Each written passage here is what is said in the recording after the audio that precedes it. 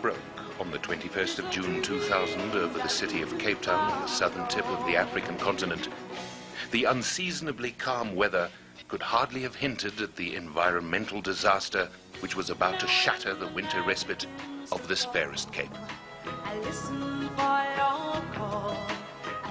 A Panamanian registered ore carrier, the Treasure, entering the Cape Town harbour, was found to have a large tear in its hull. Fearing it may sink, Cape Maritime authorities took the vessel in tow and dragged it out to sea. Soon afterwards, the tow connection snapped and the ore carrier sank six kilometers off the coast. The 13,000 tons of fuel oil started leaking immediately. Penguins covered in oil came ashore on Robben Island, 20 kilometers to the south, the very next day. This historic island, only recently declared a World Heritage Site, has the third largest breeding population of African penguins in the world. A larger colony on Dassen Island, 60 kilometers to the north, was also soon threatened by the drifting oil spill.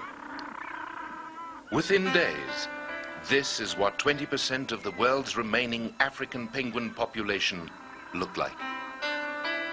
The drama that unfolded over the next two months was to become the largest single rescue operation of oiled wildlife in history.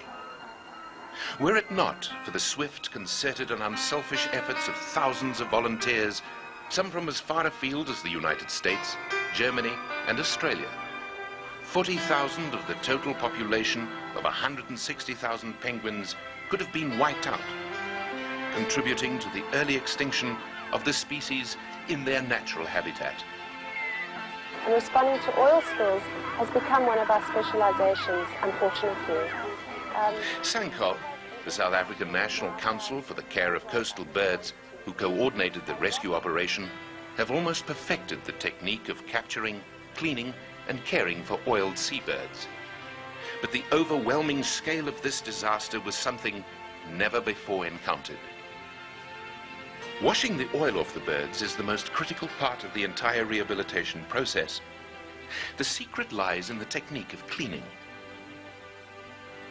Oil destroys a bird's waterproofing, causing the feathers to clump together, leading to hypothermia and the loss of buoyancy in cold sea water. An oil bird will not hunt, but mobilize its fat reserves and will eventually dehydrate and die. Force feeding the oiled birds is the only way to avoid starvation. A challenge faced by volunteers was to clean the birds before they suffered the long-term effects of petrochemical poisoning. The other crucial challenge encountered by the volunteers in washing the penguins was to use a cleaning agent which was highly effective in dissolving the thick black oil without further harming the already traumatized birds. From the onset of the campaign, SANCCOB considered only one cleaning product, GNLD's LDC Light Duty Concentrate. Earlier experience, most notably during the sinking of the Apollo Sea off the Cape West coast six years earlier, had proven beyond a doubt the effectiveness of this remarkable household cleaner. LDC's effectiveness lies in its oil and fat dispersing properties, and the fact that this low-dose, low-burden, pH-neutral detergent is as gentle on the penguins as on the people washing them. Depending on the extent of the oiling and the condition of each bird, the washing process can take anywhere from 20 minutes to over an hour. After repeated washes in warm water with LDC and careful scrubbing with a toothbrush, the penguins are rinsed thoroughly until their feathers regain their natural waterproofing.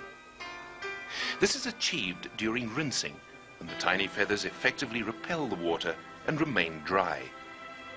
No other commercial or industrial cleaner could produce these remarkable results without any side effects whatsoever. After a quick visit to the vet and a vitamin injection, the cleaned birds enjoy their first swim in their specially constructed pools, eagerly awaiting their eventual release back into the sea once the oil spill has been cleared up. Following the sinking of the Treasure in June, GNLD distributors were quick off the mark, personally donating many litres of LDC to the operation. This was also matched by a generous bulk donation by GNLD.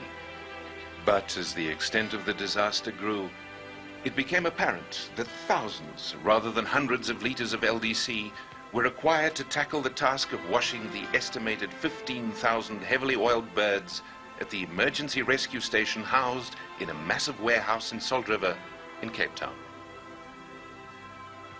GNLD staff, working closely with the rescue coordinators, arranged for an emergency consignment of over 7,500 litres of LDC to be rushed to Cape Town. Without it, the cleaning operation would simply have ground to a halt. Thousands of the birds were transported to Port Elizabeth. Tons of oil has put some 55,000 penguins at risk. The arrival of this crucial consignment was met with relief and jubilation by volunteers and rescue workers. Witnessing the extent of the cleaning task at hand and the enormous cost of the entire operation, GNLD distributors, staff and management put their heads together and launched a campaign to raise funds for the purchase of LDC. The unspoken aim was to provide enough LDC to wash every penguin affected by the disaster. Over the course of the next month, while people around the world followed the progress of the celebrity penguins Percy, Peter and Pamela on their journey home over the internet, GNLD distributors plugged away at raising funds for the real issue, cleaning the thousands of birds before time ran out. GNLD distributors, customers, staff, friends and family, school children, businesses and concerned individuals from South and Southern Africa generously responded to the appeal to buy a litre of LDC and save a penguin. As the days turned into weeks, the amount of LDC donated increased steadily. And by the end of August, over 120,000 rands worth of this extraordinary and vital product was donated. A fantastic effort and a job well done. All 15,000 oiled penguins could greet the arrival of spring in southern Africa on the 1st of September a whole lot cleaner than before, and without a laundry bill to go with it, thanks to the efforts of their GNLD friends. A letter of appreciation from SANCCOB to distributors, customers and staff puts their contribution neatly into perspective. You have been involved in a rescue operation that is unprecedented in history. Never have we been able to save and rehabilitate so many oiled birds in such a short time frame. On behalf of SANCCOB and the international team, thank you, GNLD. And what of the survival rate of these rehabilitated penguins back in the wild?